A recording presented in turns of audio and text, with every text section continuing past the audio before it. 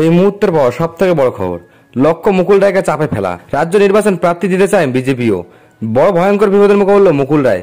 মুকুলের PSC chairman পদ কেড়ে নেবে, সরাসরি হুমকি দিল দিলীপ ঘোষ। বিস্তারিত জানতে ভিডিওটি শুরু থেকে শেষ অবধি দেখুন। চ্যানেলে নতুন হলে চ্যানেলটি অবশ্যই সাবস্ক্রাইব করুন। রাজ্যসভা নির্বাচনে তৃণমূলকে চ্যালেঞ্জ জানাতে প্রার্থী দিতে পারে বিজেপিও।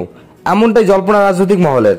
হার নিশ্চিত হলেও বিশেষ কারণে রাজ্যসভায় প্রার্থী দিতে চায় গড়ুয়া শিবির। যদিও প্রকাশ্যে এ বিষয়ে এখনও মুখ খোলেননি বিজেপি রাজ্য নেতারা।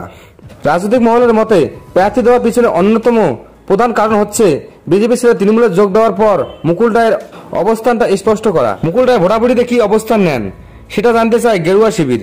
বিজেপি সূত্রে জানিয়েছে, মুকুল রায় যদি হুইপ অমান্য করে তৃণমূল প্রার্থীকে ভোট দেন, সেক্ষেত্রে দলত্যাগ বিরোধী আইন নিয়ে সর্ব হওয়ার সুযোগ থাকছে। আসলে রাজ্যসভা নির্বাচনে দলীয় বিধায়কদের উপর হুইপ জারি করা যায়। কোনো বিধায়ক সেই হুইপ না মানলে বিধায়ক পদ বাতিল করা আবেদন জানানো যায়। সেই কারণেই প্রার্থী দিতে চায় গেরুয়া শিবির। প্রার্থী দেওয়ার পিছনে অনেকটাই কারণ। একেবারে বিনা প্রতিদ্বন্দ্বিতায় তৃণমূলকে না ছাড়া।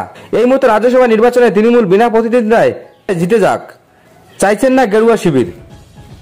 তো বন্ধু আপনাদের কি মতামত অবশ্যই কমেন্ট করে জানাবেন। মুকুলের কি বিধায়ক পদ খারিজ করা উচিত কি উচিত না? অবশ্যই আপনার মূল্যবান মতামত কমেন্ট করে জানাবেন।